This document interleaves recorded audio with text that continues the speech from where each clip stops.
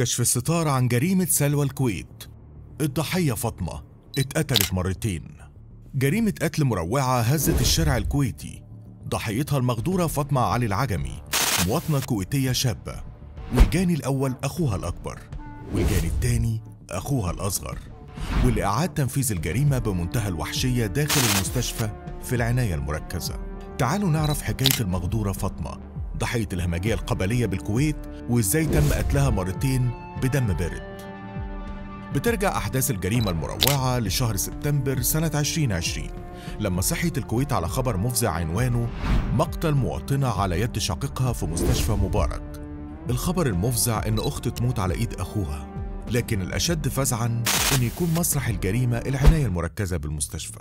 المواطنة الكويتية فاطمة علي العجمي مواليد 1985 كان عمرها وقت وقوع الجريمة 35 سنة متزوجة من هاشم الملا بيشتغل محامي ساكن في حي سلوى بمنطقة حولي بالكويت.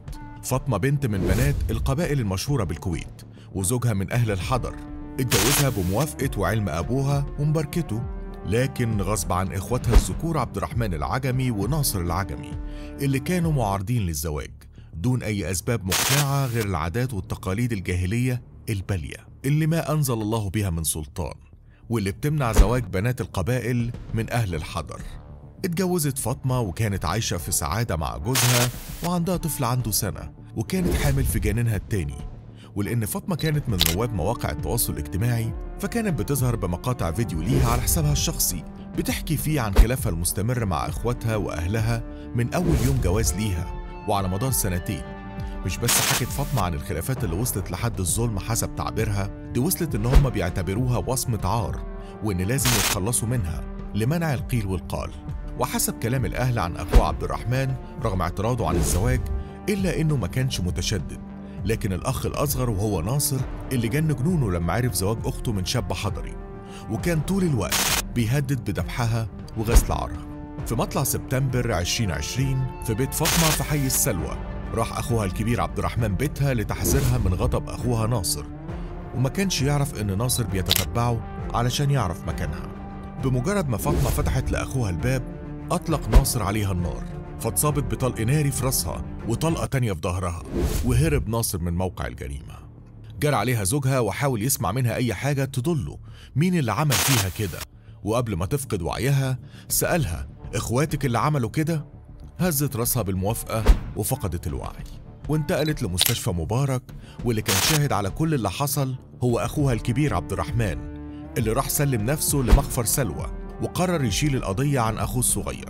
والسبب في كده إنه معاه تصريح من الطب النفسي إنه بيعاني من مرض نفسي ما وفي اعتقاده إن ده هينجيه من العقاب وفي نفس الوقت يحمي أخوه ناصر. وبالرغم من إن أهل فاطمة اعترفوا للشرطة إن عبد الرحمن مش هو القاتل وإن القاتل الحقيقي حر طليق إلا إن الشرطة ما حطتش حراسة في المستشفى على فاطمة. اللي حصل بعد كده إن فاطمة دخلت العناية المركزة بمستشفى مبارك وأجرت عمليات على مدار سبع ساعات. وبشر الأطباء زوجها بإن الجنين حي يرزق في بطنها وإنها هتتعافى بعد خروجها من العناية المركزة. لكن حصلت مفاجأة أكبر وغير متوقعة. ناصر القاتل ما رضعهوش إنه شاف دم أخته قدام عينيه ولا إن أخوه عبد الرحمن بيسلم نفسه للشرطة بداله. ولا إنه تسبب في موت روحين أم وجنين. بمجرد ما عرف إن هي لسه عايشة أخد سلاحه وراح مستشفى مبارك وقدر يدخل العناية المركزة وأطلق النار للمرة التانية على فاطمة بأربع رصاصات. اتسببت في وفاتها ووفاة جنينها. واتقبض على ناصر اللي انتزعت منه كل المشاعر الإنسانية والأدمية. بعد ما كمل جريمته الشنيعة وقتل أخته بدون ما ترتكب أي ذنب. الغريب في جريمة سلوى الكويت إن ناصر العجمي شاب متعلم ومعاه شهادة ماجستير. ده كان مؤشر خطير على إن الهمجية القبلية لو اتمكنت من الإنسان مهما كانت درجاته العلمية لازم هترميه في طريق الجرم والخطيئة. والغريب إن بعد تنفيذ جريمة القتل البشعة في المغدورة الشهيرة فاطمة العجمي كان بيوصل على هاتف زوجها رسائل تهديد بالقتل وإن الدور جاي عليه. واللي اعتبرها المواطنين في الكويت نوع من الانفلات الأمني وحصل غضب شديد من المواطنين.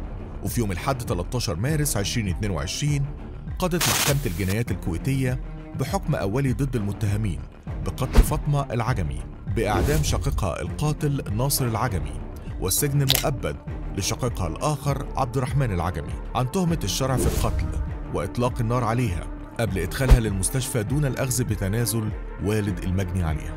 والحكم تم بعد عرض المتهمين على الطب النفسي للفحص واللي أثبت وأكد من مسؤولية المتهمين عن أفعالهم الجريمة البشعة اللي أثارت تساؤلات حوالين تمكن إلجاني من دخول المستشفى وعناية مركزة وهو حامل السلاح بدون توقيفه. كمان بشاعة الجرم اللي وصل حد القتل المرتين مع تخاذل من الشرطة في حماية الضحية بعد وقوع الجريمة في المرة الأولى. القضية الغريبة على الشارع الكويتي. واللي من عنفها اتنقلها رواد مواقع التواصل الاجتماعي بجميع دول العالم العربي والاستنكار في العنف ضد المرأة اللي ملوش نهاية وفضل السؤال الملح بأي ذنب قتلت؟ رحم الله الشهيدة المغدورة فاطمة علي العجمي وأسكنها الفردوس الأعلى.